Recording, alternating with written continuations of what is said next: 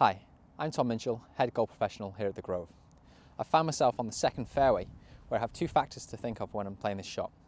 Firstly, I'm higher and more elevated than the green, which is below me. And secondly, my ball's going to be above my feet. So how do I factor that in? Firstly, my club selection. I'm going to take a wedge instead of a 9 iron. And secondly, when I'm addressing this golf ball, I'm just going to go down the grip slightly, just to allow for my posture to be more consistent.